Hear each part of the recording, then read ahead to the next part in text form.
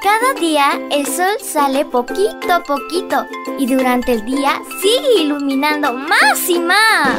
Un rayito de luz para cada día. Para recordar los valores con historias que dejarán una huella importante en tu vida.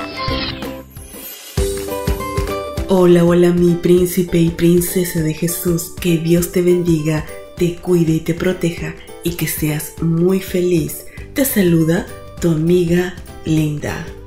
Y el versículo dice así, en fin, vivan en armonía los unos con los otros, compartan penas y alegrías, practiquen el amor fraternal, sean compasivos y humildes. Primera de Pedro 3:8 y la historia se titula Jesús, nuestro ejemplo, parte 1.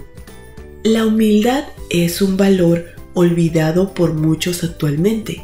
Los niños ya no son tan humildes como lo eran antes. Discuten y reclaman con facilidad. Algunos son insolentes, les gritan a sus padres y hasta pegan y no muestran mansedumbre en sus actos. Sin embargo, Jesús mostró humildad frente a situaciones muy difíciles, incluso cuando estaba viviendo los peores momentos de dolor el día de su crucifixión. ¿Recuerdas algunas de las lecciones que enseñó Jesús? Poner la otra mejilla y caminar la segunda milla no eran solo frases interesantes. Él vivió así desde su infancia en medio de las dificultades que tuvo que pasar en esta tierra. Si piensas en algunas de las características que Jesús mostró, verás que Él era amable y sumiso. Seguía adelante y hacía de las escrituras su guía. Amaba a sus hermanos y los trataba con bondad inagotable. Era vivaz y alegre. No quería entrar en controversia. Sin embargo, su ejemplo era una lección constante. Aunque su trabajo resultaba penoso, no desmayaba ni se desanimaba, no peleaba por sus derechos. Cuando lees todo esto simplemente dices, esto es imposible. ¿Cómo puedo ser humilde si me están ofendiendo? Actualmente se enseña, defiende tus derechos, no te dejes aplastar. Hay que ser manso, pero no menso. Piensa, ¿acaso Jesús no era el Hijo del Soberano del Universo? Por supuesto que sí.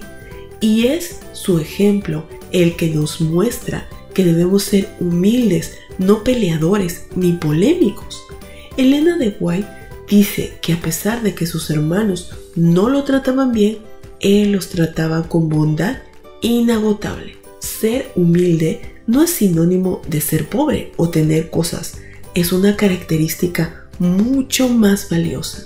Significa reconocer cuando te equivocas y pedir perdón sinceramente es no querer mostrarte superior a los demás, humillándolos, haciéndolos sentir que no valen o tratarlos mal, sino por el contrario, es desear hacer felices a los demás. Eso es humildad. Querido Jesús, con tu gran ayuda podremos vencer cualquier obstáculo, saber perdonar y ser humildes. Amén y amén. Abrazo tototes de oso y nos vemos mañana para escuchar otra linda historia. Hasta luego. Devoción matutina para menores. Un rayito de luz para cada día. Una presentación de Canaan Seventh Day Adventist Church and DR Ministries. Hasta la próxima.